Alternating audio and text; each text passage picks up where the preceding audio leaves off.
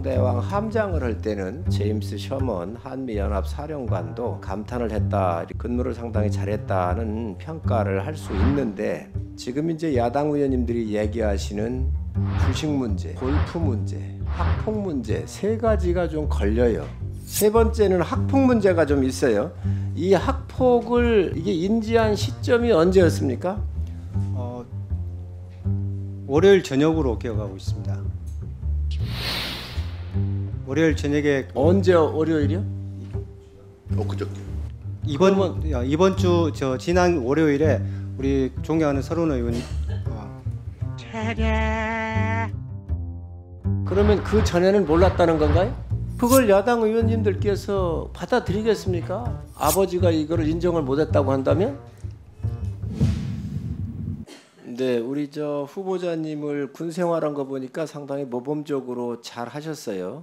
특히 이제 해군에서 근무를 하시면서 세종대왕 함장을 할 때는 북한의 광명성 3호가 이렇게 그 발사가 됐는데 그걸 54초 만에 탐지도 하고 하면서 제임스 셔먼 한미 연합 사령관도 감탄을 했다 이렇게 검색을 해보니까 뉴스가 나오고 그래요. 그래서 근무를 상당히 잘했다는 평가를 할 수 있는데 지금 이제 야당 의원님들이 얘기하시는 주식 문제, 골프 문제, 학폭 문제 세 가지가 좀 걸려요.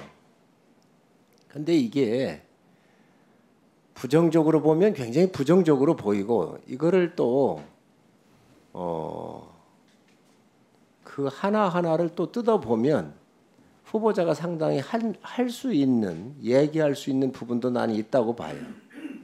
그래서 오늘 청문회를 하면서 그런데 국민들하고 정서적으로 이게 안 맞는 부분이 있잖아요. 그러니 이런 부분을 상세하게 좀 설명을 좀 잘 하시기 바랍니다. 방금 어, 위원장님께서도 말씀을 주셨는데 이 골프부터 좀 얘기를 하면 이 골프를 친다고 하는 게 군인으로서 칠 시간과 치지 않아야 될 시간이 정확하게 규정이 돼 있지요. 예 되어 있습니다. 그걸 지켰습니까? 안 지켰습니까? 시켰습니다. 자 그러면 그 부분을 정확하게 말씀을 드리세요. 예를 들어서 을지 훈련이 됐든, 어? 뭐 팀 스피리트가 됐든 무슨 훈련이 있어 가지고 그 기간 동안 골프를 칠 수가 없었기 때문에 이제 주말에 토요일 일요일을 근무를 하면서 일을 했기 때문에 이거는 대체로 대체 보상으로서 이게 할 수 있었다고 한다면 그런 원인을 정확하게 설명을 하면 다 이해하실 거란 말이에요. 지금 그것들을 정확하게 지금 이 저 설명을 못 드리고 있는 거예요. 그래서 그 부분을 좀 정확하게 설명을 좀 해주시기 바랍니다. 그래서 그 부분을 우선 좀 어떻게 설명할 거예요? 말씀 드려 보세요. 네, 어, 기회 주셔서 감사합니다. 골프 사용한 것은 저는 뭐 어쨌든 규정에 안 된 골프 시간이라 어떻게 죄송하지만은 규정에 되지 않는 제한 사항이 있는 상태에서는 골프를 절대로 치지 않았다. 금지되거나 지시에 따라서 칠 수 있는 시간이 정해져 있습니다. 그리고 대체 그 휴일과 보상 일자는 아까 말씀하신 대로 그 날짜가 전투 혐의였는지는 저희들이 체크를 못했습니다.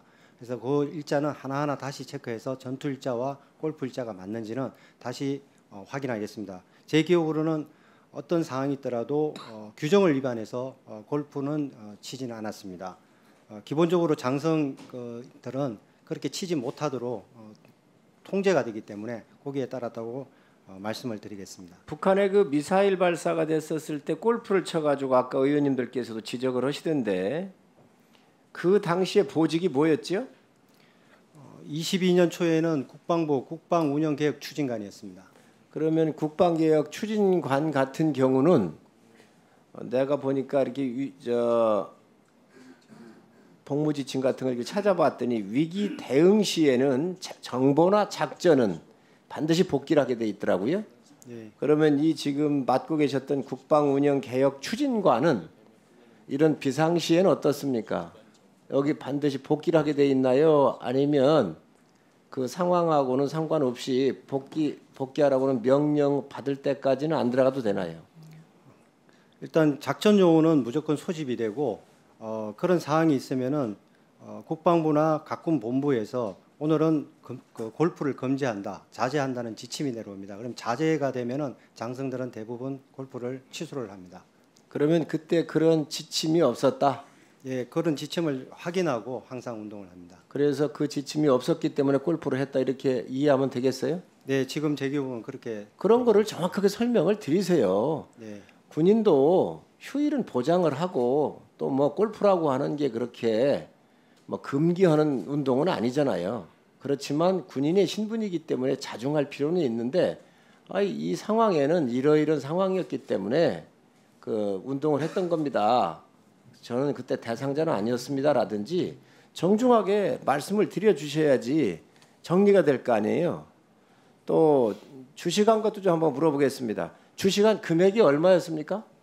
어, 전체 그 21년부터 한 것은 약 4천만 원이고 지금 현재 가지고 있는 것은 1,600만 원 정도 가지고 있습니다. 최대 금액이 많았던 데가 얼마였어요? 4천 한 200만 원 정도. 4천만 원 정도.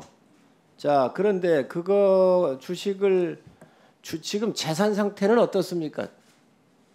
본인의 재산은 집은 있습니까? 네, 집은 그 부인 명의로 하나 가지고 있습니다. 서울입니까? 아니면 지방입니까? 대전입니다. 대전에. 네, 그리고 이 집 말고 또 다른 자산이 있습니까? 집 말고는 그 저희들 재형저축 들어가는 것만 가지고 있습니다. 그리고 이 주식 이겁니까? 제가 가지고 있는 건 여기에 답니다. 자, 그러면 이 주식을 이게 이렇게 했는데 사실 이 지점은 우리 의- 의원님들이 지적을 하시는데 후보자께서 이런 부분은 굉장히 앞으로도 조심을 하셔야 돼요. 아셨지요? 특히. 주식은 시간적 싸움이기 때문에 업무의 집중도가 흐트러질 수가 있습니다.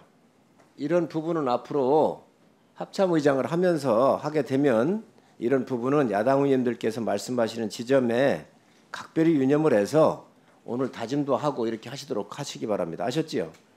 명심하겠습니다. 또세 번째는 학폭 문제가 좀 있어요. 이 학폭을 이게 인지한 시점이 언제였습니까? 어, 월요일 저녁으로 기억하고 있습니다. 월요일 저녁에 그 언제 월요일이요? 엊그저께. 이번 야, 이번 주 저 지난 월요일에 우리 존경하는 서른 의원 어, 그러면 그 전에는 몰랐다는 건가요? 네, 이 상황은 그 인지를 못했습니다. 어, 기동민 의원실에서 어, 확인 요청이 와서 그때부터 확인을 들어갔습니다. 그걸 야당 의원님들께서 받아들이겠습니까? 아버지가 이거를 인정을 못했다고 한다면 군인으로서 살다 보니까 가족에 대해서 조금 어, 세심하지 못한 것에 대해서는 어, 죄송스럽게 생각하고 앞으로도 그 부분은 주의 있게 관찰하도록 하겠습니다.